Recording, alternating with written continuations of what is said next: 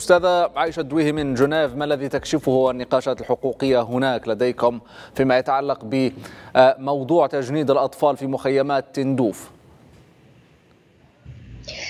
أكيد ونحن اليوم آه، قد ابتدأنا توا أشغال الدور الخام الخمسون لمجلس حقوق الإنسان للأمم المتحدة هنا بجنيف أكيد نستحضر كل تلك القضايا العالقة كل تلك الانتهاكات التي تطال الإنسان بصفة عامة. وأكيد حسب ولايتنا ومسؤوليتنا الأخلاقية وانتمائنا دائما يحضر معنا ما يطال ساكنة مخيمات تندوف من انتهاكات جسيمة لحقوق الإنسان.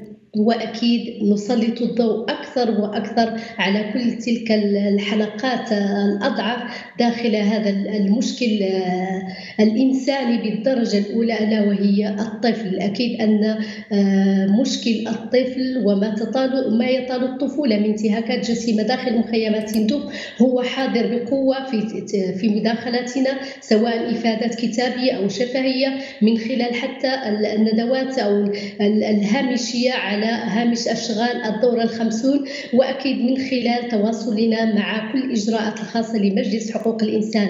قضية أطفال مخيمات تندوف تبقى هي القضية الأبرز التي يتمحور حولها ترافعنا بشكل جذري داخل مجلس حقوق الإنسان بالدرجة الأولى لما آه، تعنيه ولما آه، يطال الطفولة هناك من انتهاكات ترقى في بعضها إلى جرائم حرب والتي للأسف لا تقابل إلا بغفلة دولية وصمت مريب وتواطؤ من البلد المضيف.